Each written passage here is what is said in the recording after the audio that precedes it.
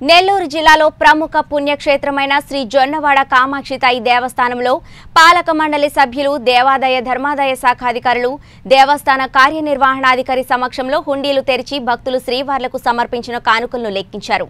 ఈ హుండీ లెక్కింపు కార్యక్రమంలో సామాజిక దూరం పాటిస్తూ చేతులకు గ్లౌజులు మరియు ముఖానికి మాస్కులు ధరించి శానిటైజ్ ద్వారా శుభ్రపరుచుకుంటూ హుండీ లెక్కింపు కార్యక్రమాన్ని మొదలుపెట్టడం జరిగింది. ఈ ఏడాది జనవరి నాలుగవ తేదీ నుంచి మార్చి ముప్పైవ తేదీ వరకు ఎనభై ఆరు రోజులకు గాను శ్రీవార్ల హుండీల ద్వారా ముప్పై ఏడు లక్షల నలభై ఆరు వేల నూట మూడు ఆదాయం భక్తులు హుండీల ద్వారా శ్రీవార్లకు సమర్పించారు. మరియు బంగారం రెండు వందల నలభై తొమ్మిది గ్రాముల మూడు వందల మిల్లీగ్రాములు వెండి నూట అరవై ఆరు గ్రాములు యుఎస్ డాలర్ ఒకటి సమర్పించారు.